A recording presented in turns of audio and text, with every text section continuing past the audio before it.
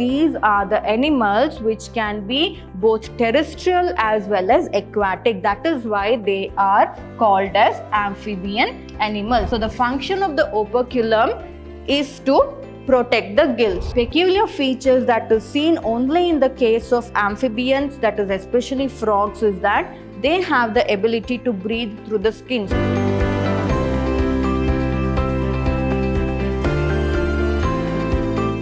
Hello everyone, a warm welcome to today's session on chapter 4 that is Animal Kingdom. I'm Dr. Divya, Biology faculty, Vidhyaashram Pre-University College, Mysore, Temple of Excellence. So in the previous session, we had studied about the kingdom Animalia under which we studied three important subphylums under the phylum Chordata right? So we had studied subphylum Urochordata, subphylum Cephalochordata and subphylum Vertebrata. So I had told you under Vertebrata there are different types of classes that are present. And what are these vertebrates? Vertebrates are those animals that possess a notochord. That is, they possess a vertebral column or a spinal cord. So those animals having a vertebral column or a bony structure that extends from the head to the rest of the body, they are put under the phylum or the subphylum vertebrata which is under the phylum chordata. So today we shall see what the classes that comes under the subphylum vertebrata. So in today's session, we shall start about class Osteichthyes. So class Osteichthyes mainly consists of fishes. So it is easy because once you remember the structure of a fish, you can easily write down the characteristic features of the animals that come under the class Osteichthyes. So they are usually, because I told you they are the fishes, they are usually marine and they live in fresh water. That is, they can live both in the oceans and the seas and also they can live in the fresh water as well. And these animals are cold-blooded.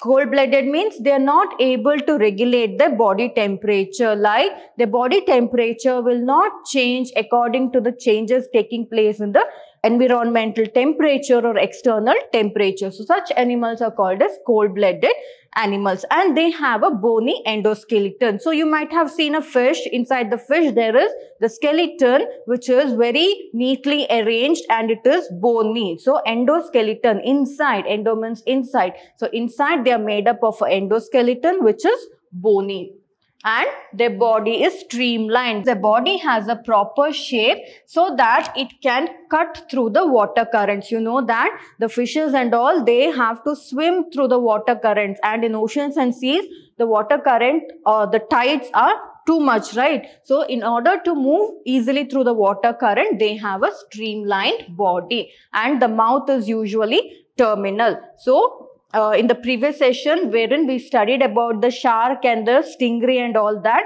I had told you the mouth is ventral, that is it is present in the lower surface of the body, right? But in the case of fishes, the mouth, it is terminal at the tip of the head, at the end of the head, the mouth is present. So therefore the mouth is terminal and they have a streamlined body.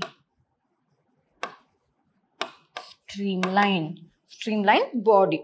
And also, when we talk about the gills, they have obviously because they are aquatic animals, they have gills which helps them in respiration. So they have four pairs of gills and these gills are covered by operculum. Operculum is nothing but two flaps that are present on either side of the head which will protect the gills. So you can see here this part that is there, it is nothing but the operculum.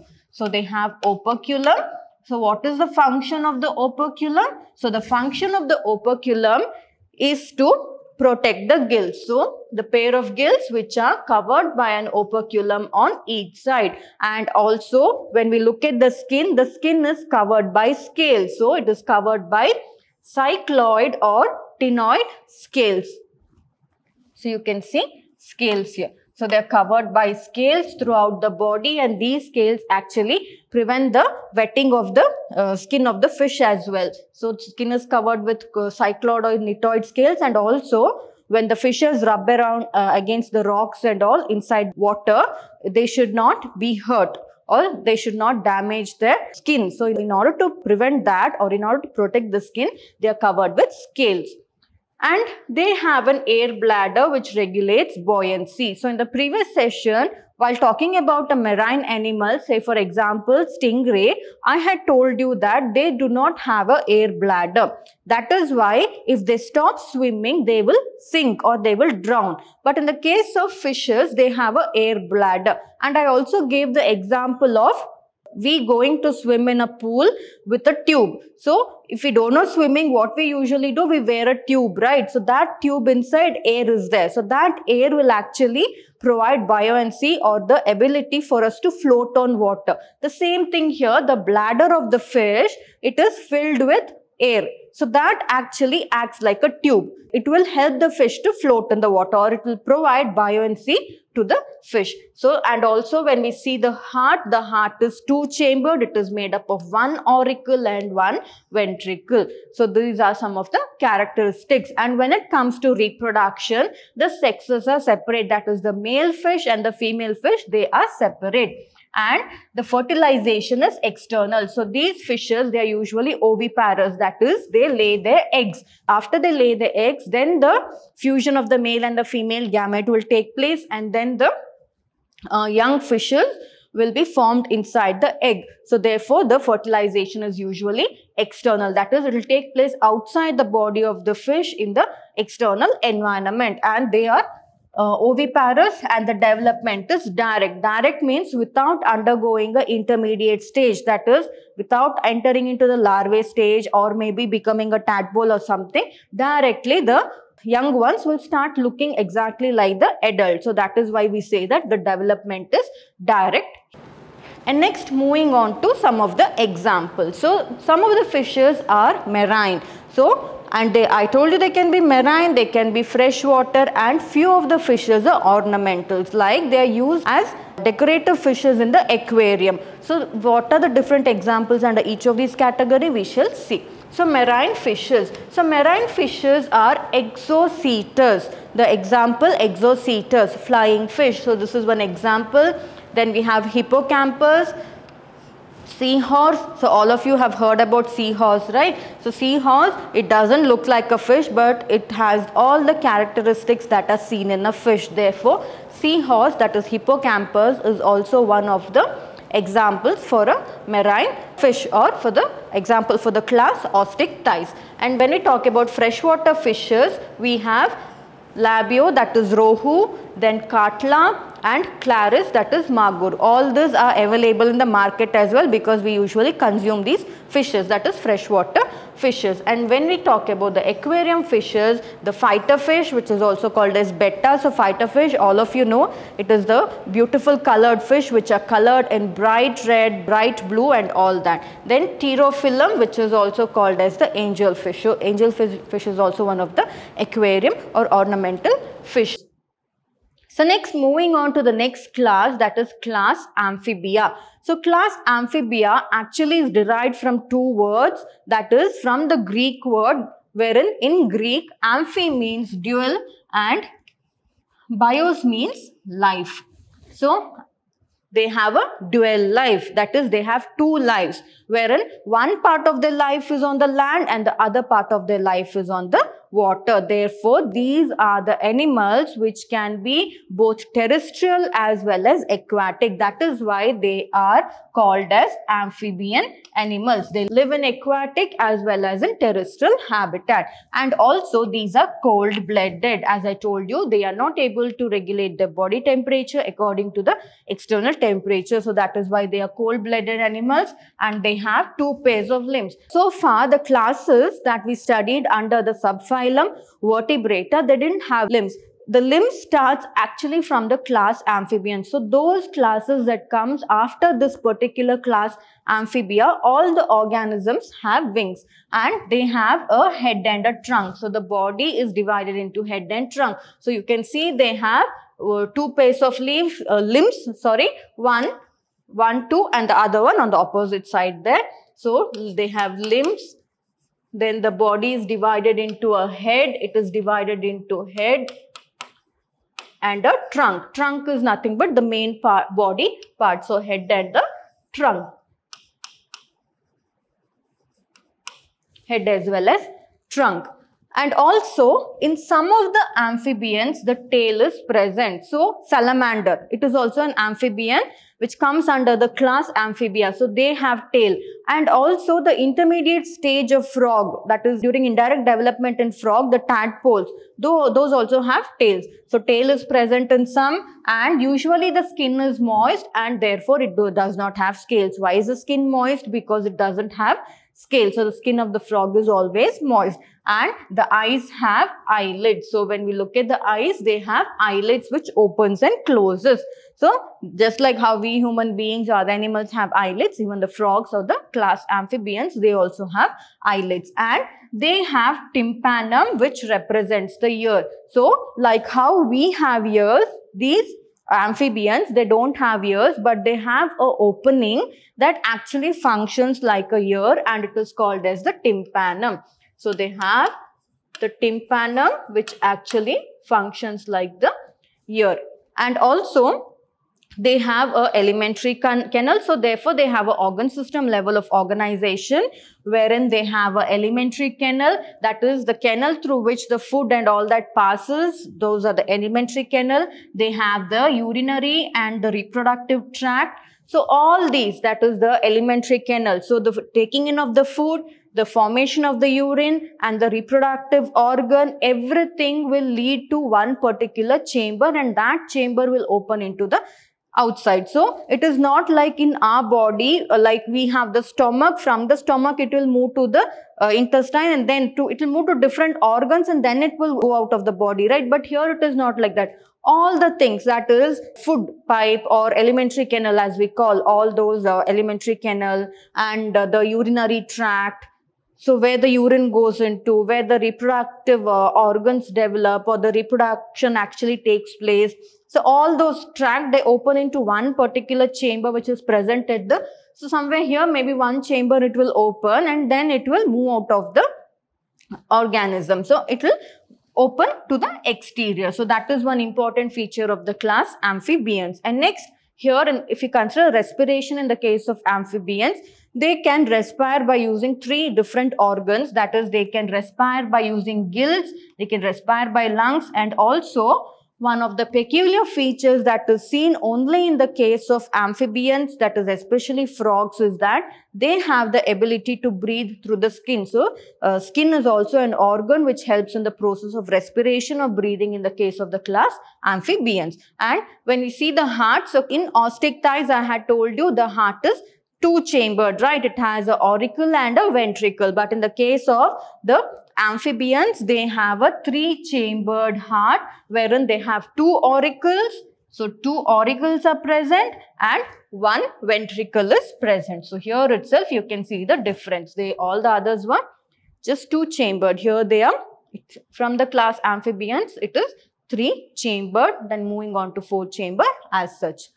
So coming on to reproduction. So reproduction here also the male and the female are separate. That is, the male reproductive organ is present in one organism and the female reproductive organ is present in other organism. Therefore, the sexes are separate and fertilization is external. Here also, the frogs, they lay the egg. Once they lay the egg, then the fertilization, that is the fusion of the gametes will take place and then it will develop into a new organism. And also, when I say they develop into a new organism, here the development is indirect so, one more thing is they are oviparous. As I had mentioned, they are egg laying. So, they lay eggs and after they lay eggs actually, then the fertilization will take place and then the tadpole comes out. So, that tadpole actually doesn't look like a frog. Can you see here? It doesn't represent, it doesn't at all represent like a so if I had removed those legs, no, it would look like a stingray or something, baby stingray. So that is why I said it doesn't look like the adult frog. So therefore the development is indirect.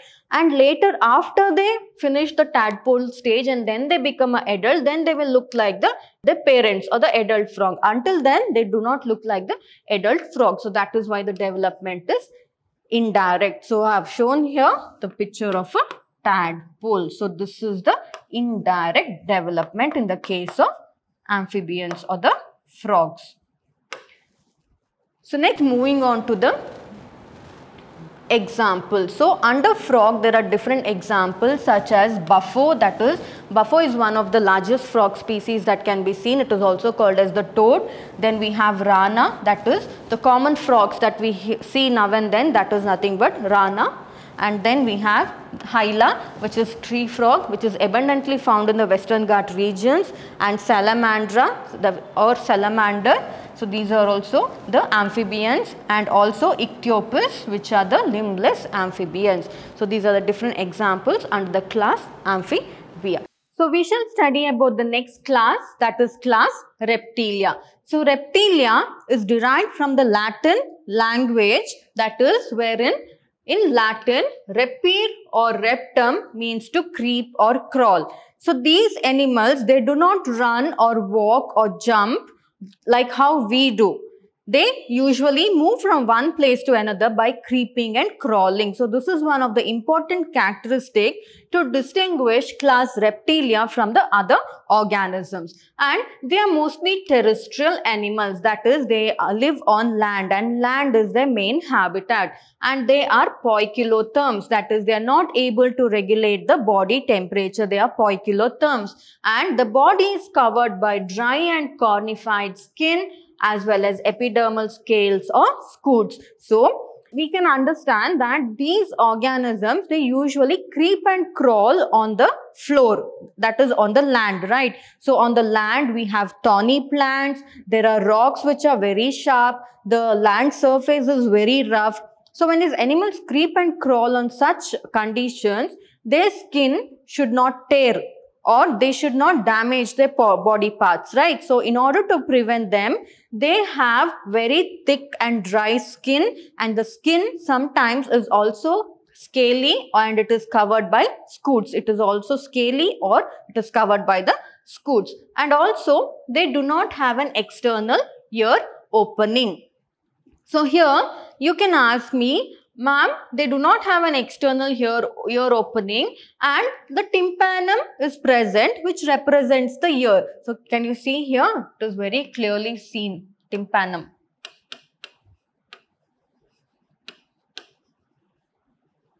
So, they could have put uh, frogs and uh, these reptiles that is the lizard, snake and all under one organ, one group, right? Why? Because these are completely terrestrial but frogs, they are living both in water as well as land. So that is when they classified these um, organisms under class reptilia separately. So tympanum is present instead, instead of ears which acts like a hearing organ and also they have limbs and they are usually in two pairs that is they have the forelimbs and the hind limbs so it is usually in two pairs and the heart is three chambered just like the frog so, remember this is one important thing here. There is one peculiar feature in crocodile.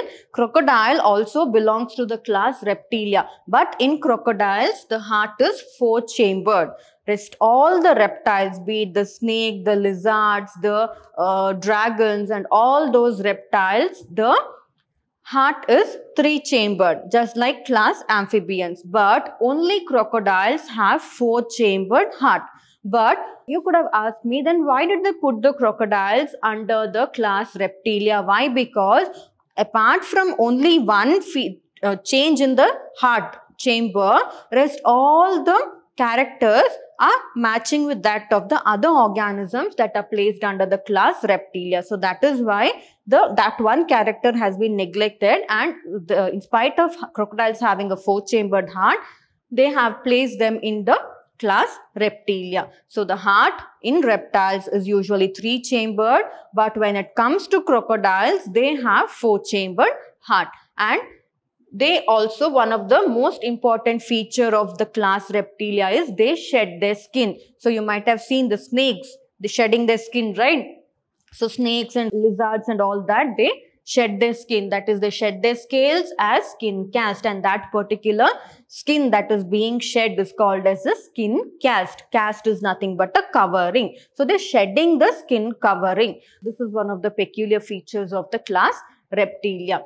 So next moving on to reproduction. Here also the sexes are separate. That is the male uh, animal is separate and the female animal is separate. So the sexes are separate and the fertilization is internal. So, so uh, in amphibians the fertilization was ex external, right? In the case of uh, reptilians, reptilians also are oviparous that is egg laying animals but the fertilization that is the fusion of the male and the female gamete will take place inside the body of the animal itself that is why the fertilization is internal and they are oviparous and the development is direct. In amphibians, the development was indirect, right? Wherein they had an intermediate stage of the organism. But in the case of uh, reptilia, the development is direct. So, the baby can you see here the baby turtle that has come out of the egg looks exactly similar to that of the parent. So, therefore, the development is direct development.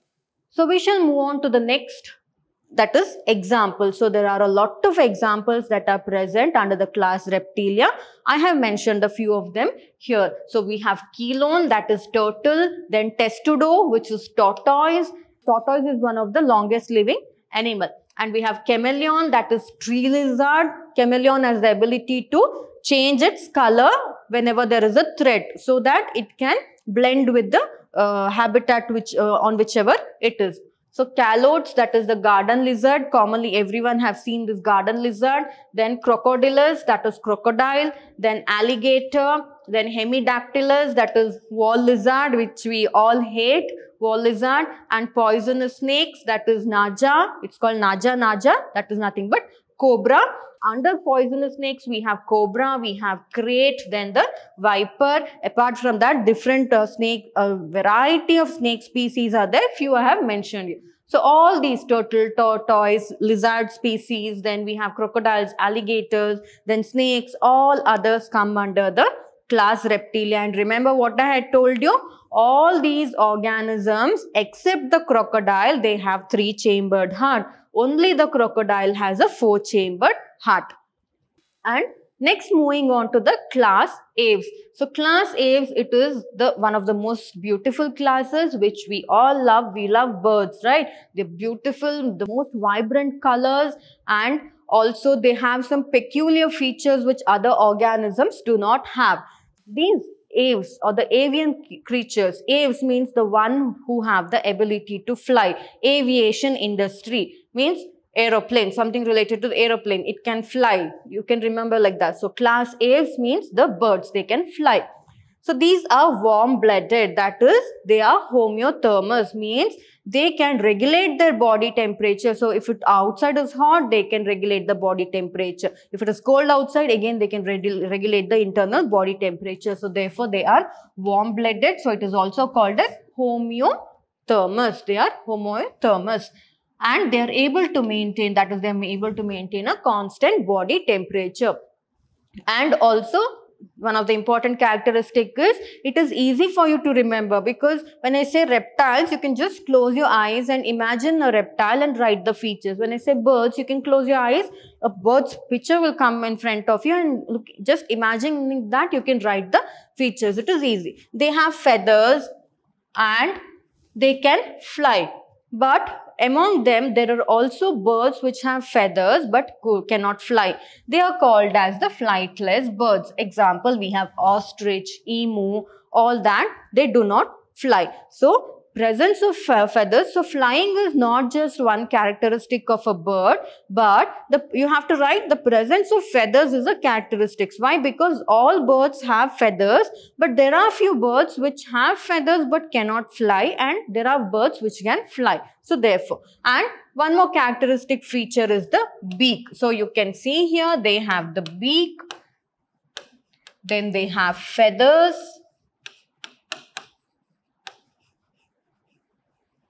feathers, beak and also they have wings, right?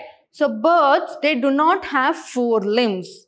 They have only two limbs. Why? Because during the process of evolution, it got modified. So actually what happened was birds, in order to escape from the predators, they started to run very fast. It was said that according to scientists or according to the um, old uh, uh, like evolutionary studies, what uh, scientists have done, what they found out was the birds were earlier having four legs. But what happened was in order to protect themselves from the predators, they started to run when the predators came to uh, attack them. So when they started to run, what happens?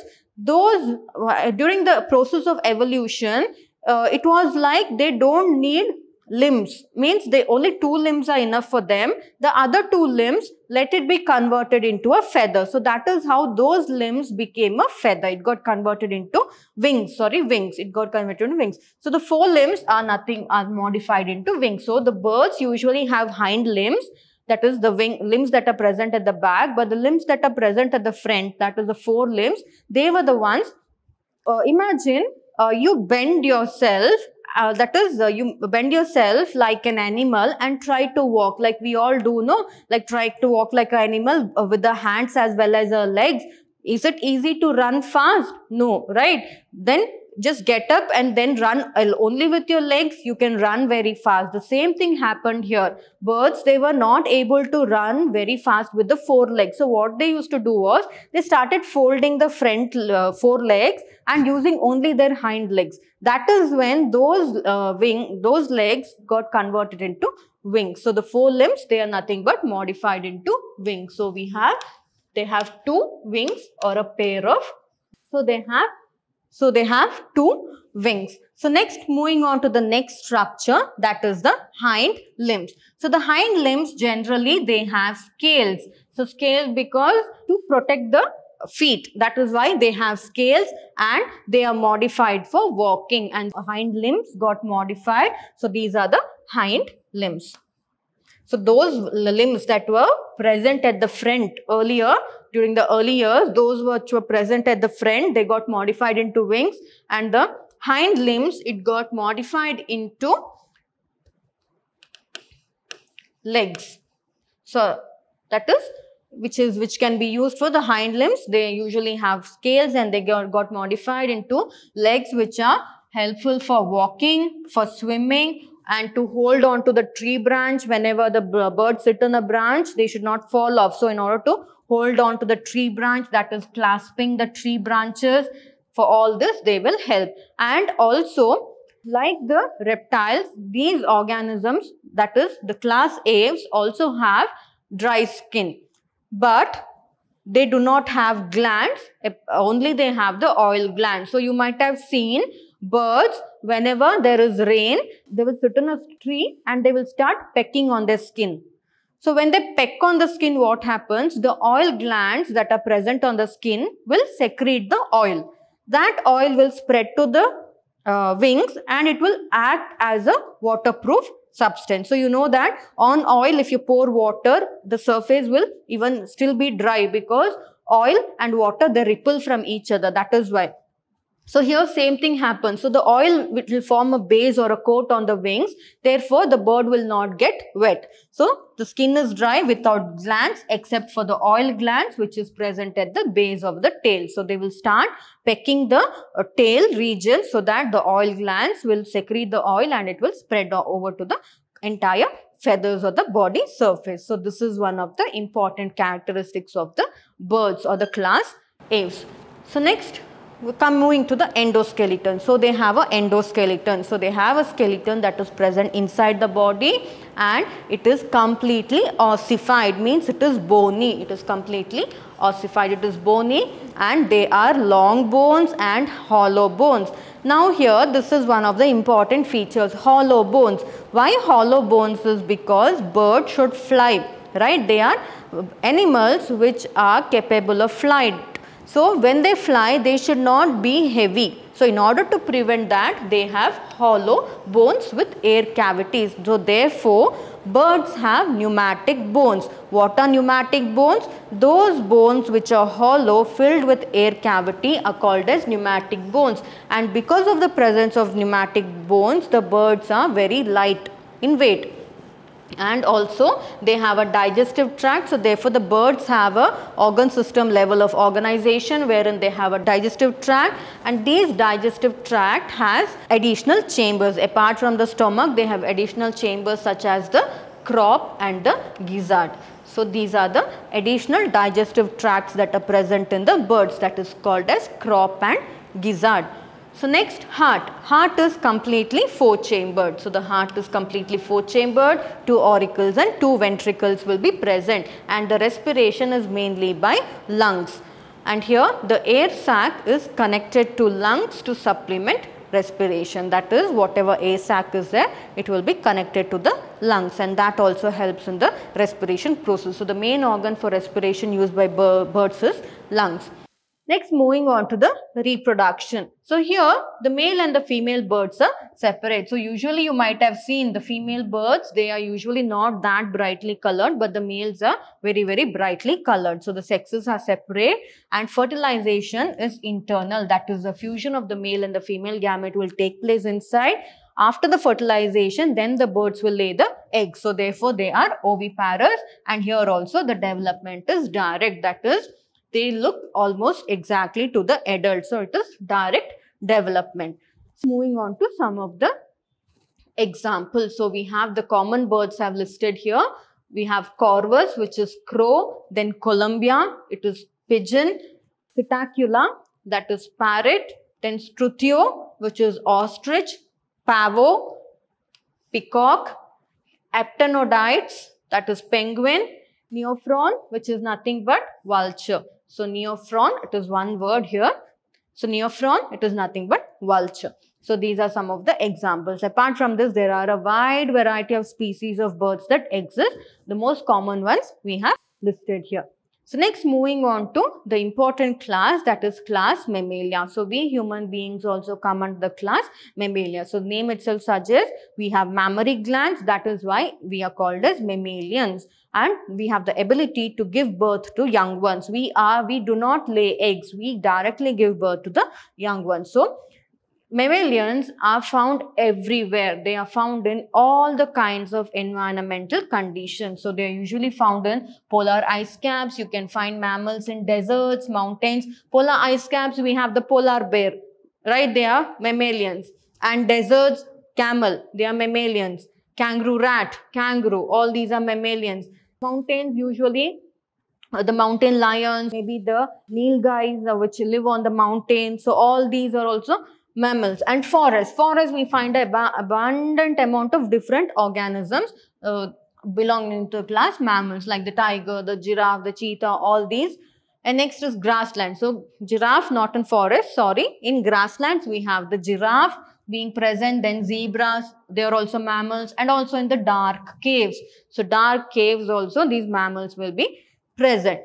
And some of the mammals, they have the ability to fly or live in water. So therefore they are found everywhere. They are found in air as well as in water. On land, again in land, they are found in different environmental conditions or habitats. So some of them, they have adapted to fly and also live in water and they are homeothermous. So homeothermous means they have the ability to regulate their body temperature according to the external environment. So they are homeothermous and they are milk producing that is they have mammary glands and these mammary glands produce milk and the milk the young ones that is the babies are provided nutrition especially or nourishment through these mammary glands. So mammary glands is one of the important feature that classifies the organism mammalians or class mammalia. Next they have two pairs of limbs and that is four limbs are there. Even we human beings, we have four limbs, right? But two limbs, we use it for, no, not for walking, but for other purposes and the legs, we use it for the walking purposes. So therefore, all the mammals have two pairs of limbs, that is four limbs are present and they are adapted for walking, for running, climbing, burrowing, swimming or flying. So for all these it is used and we human beings, so we use it for different purposes. Okay. So next moving on to the skin. So the skin is unique. That is mammals, they have hairs. So, so far all the organisms that we studied under the subphylum vertebrata, they did not have hair on the body. Either they had scales or the skin was rough, they were made up of scutes or so on. But class Mammalia, one of the major feature is that the, the skin is also covered by hair. It is covered by hair and we have external ears. So far, what organisms we studied, they did not have external ears. What did they have? That is especially amphibians and reptilians. They had ear-like openings which were called as tympanum. But we have proper external ears which are also called as pinnae. Pinnae are present. That is external ears are present. So, there is a difference between pinnae and tympanum. Okay. And also different types of teeth are present in the jaw, right? We have the canine teeth, we have molar, we have premolar, all those different teeth are present. So, different teeth and wisdom tooth, all that, right? So, different types of teeth are present in the jaw.